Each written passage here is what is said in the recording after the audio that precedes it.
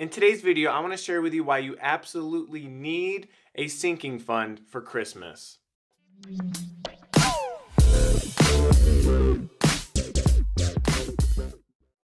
What's up guys, my name is Justin and welcome back to the channel where we make little changes with huge impacts on our lives. If you're new here, I upload videos with different tips and tricks to help you improve your life, so please consider subscribing. Christmas is coming, but that's nothing new. We know exactly when it happens every year. And yet sometimes it takes a moment of sheer panic to realize that we should have started saving way earlier in the year. Oh my god, Christmas, Christmas is coming.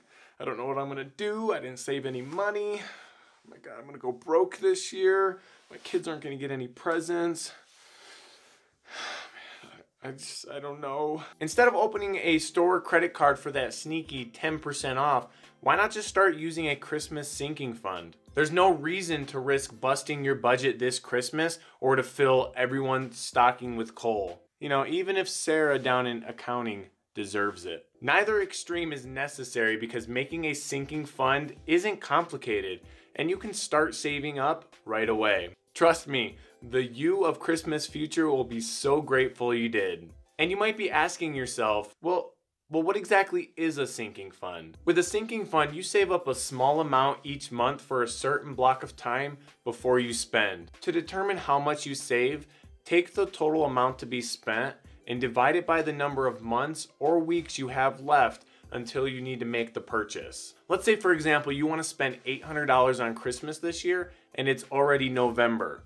That leaves you only two months to save, which means you'll have a section in your budget reminding you to stash away about $400 every month until Christmas which also means you should have started saving a lot earlier in the year. And of course, it doesn't have to be just Christmas. You can use a sinking fund for any major purchase or bill as well. Just save up a little bit over time so the expense doesn't blindside you all at once. Because Christmas comes every year, it's not a surprise. You already know it's coming. Yeah, but but Justin, that that pretty much sounds exactly like a savings account. So What's the difference? Honestly, there really isn't a difference. A sinking fund is usually more specific than a savings account since you know exactly how much you'll put in and when you'll use it. You know you wanna save $800 and you need that money saved before the 25th of December, if not sooner, so you can get started shopping before everything is gone.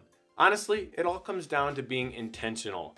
If you're saving for a new car, next year's vacation, your anniversary gifts, your son's retainer, and your Christmas presents all in the same savings account, chances are sooner or later the lines will start to blur. Instead of lumping everything together in your savings account, be deliberate and specific by having multiple sinking funds separate and safe from all the other important things you're saving up for. Have a new car sinking fund. Have a vacation sinking fund. Is your refrigerator acting up? Have a sinking fund for that as well. If you do open another savings account for your Christmas sinking fund, make sure the account doesn't have a minimum balance to maintain, kind of like a money market.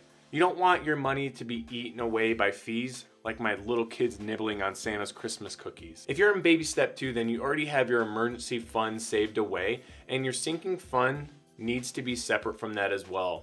Yes, a sinking fund is different from your emergency fund. Much different. An emergency fund is money set aside for the unknown. If you're on baby step one, then you should have at least $1,000 stashed away.